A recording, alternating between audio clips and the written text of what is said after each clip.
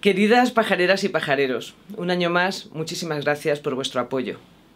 Despedimos 2017, un año donde la nueva realidad climática en España se ha hecho más que patente. España se ha secado, España se ha quemado, España está en riesgo y en riesgo está en los ciudadanos eh, españoles y su calidad de vida y nuestra economía.